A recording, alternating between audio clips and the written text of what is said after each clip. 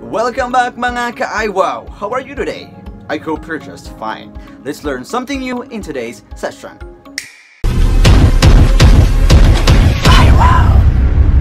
We all want to speak English fluently, but not all are eager enough to speak the English language due to some factors as I mentioned in my previous upload.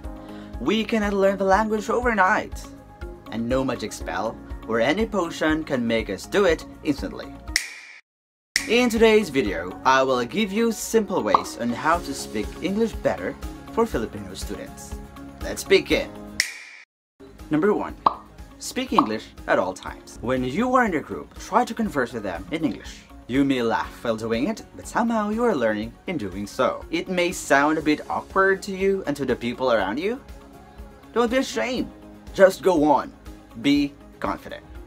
Number 2. Don't be afraid to make mistakes. Your goal is to deliver a message, not to speak English perfectly and fluent.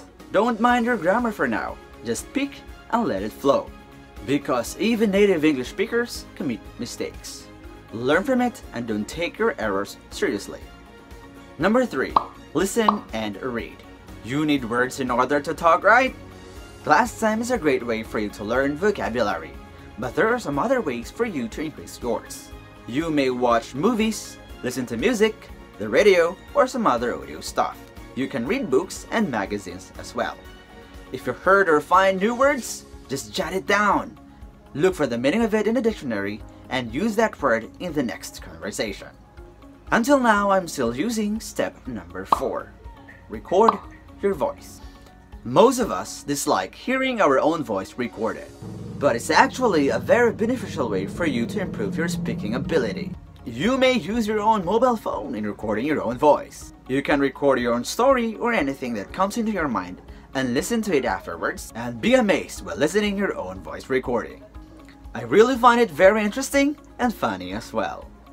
Number 5. Stand and talk in front of the mirror. Yes, you heard it right. It's a simple way for you to see the shape of your mouth when you are talking the way you stand while you are speaking. In order to produce a better sound and pronunciation, all you have to do is to mouth the words properly. Dropping your jaw when speaking creates a greater impact in enunciating the words better. Let's have some examples. Let's pronounce the words without dropping the jaw and by dropping the jaw. First word, zero, zero, law, law, talk, talk. Can you spot the difference? Good for you. Talking to yourself in front of a mirror is quite fun though.